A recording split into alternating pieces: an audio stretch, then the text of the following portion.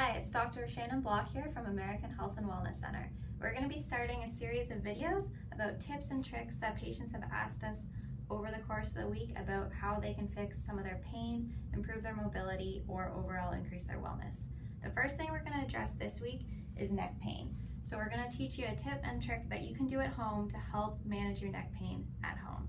So what we're to do is address the lacrosse ball. The lacrosse ball is great for getting out knots and adhesions in the neck and the upper back. The most common spot of pain for most of our patients is right at the top of the shoulder blade right there. So one thing you can do at home is use any lacrosse ball, tennis ball, or golf ball. Take it, put it right on that spot, put yourself against the wall. You wanna roll up and down across the ball, side to side, and if you feel a spot that's really uncomfortable or causing you some pain, hold pressure against it for about 30 seconds and get that out.